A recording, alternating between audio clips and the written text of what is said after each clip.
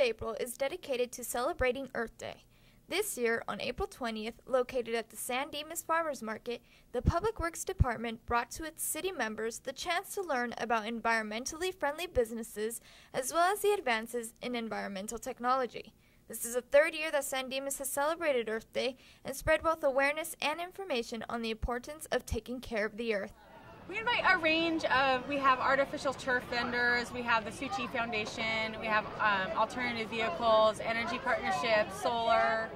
A long row of booths were set up side by side with different information on how one can become environmentally friendly. Businesses such as Edison and the Golden State Water Company set out pamphlets with information on the services they offer as they go green. Recycling was one of the most popular topics among the booths. Tzu Chi Foundation, located in San Dimas, set up a booth with information on how recycling benefits the earth as well as the people.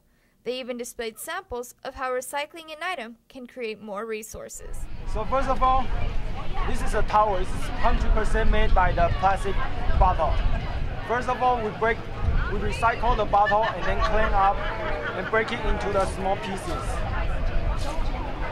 And then Another process is breaking into the even smaller pieces and then we make it into the string. This is a string. And then we make a tower. 100% tower with blanket. And uh, this tower is made by 70, 70 bottle, 70 bottle of this one. San Dimas' own Public Works Department reached out to the students of San Dimas Elementary Schools to contribute to the festivities. This is a recycled um, contest, and each one they made out of recycling, and you can choose which one you think is the most creative, and it's like a vote, so you vote for which one you like the best. Students used materials such as wooden corks, clothes, Girl Scout cookie boxes, tins, and water bottles to create their projects. Trivia games were also a big hit at this year's Earth Day celebration. Many played Who Wants to Be a Trillionaire for the chance to take home the prize of a live growing tree.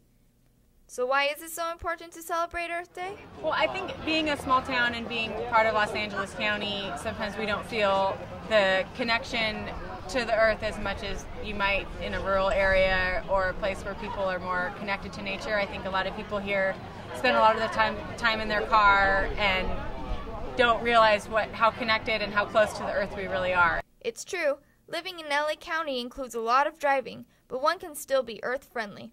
The fair included today's green cars that are saving the earth's resources. And look what we have here another use for recycling. Trash just goes to the dump to be wasted. If you put it in the recycling can, it, it can make um, it into a different thing where it doesn't have to.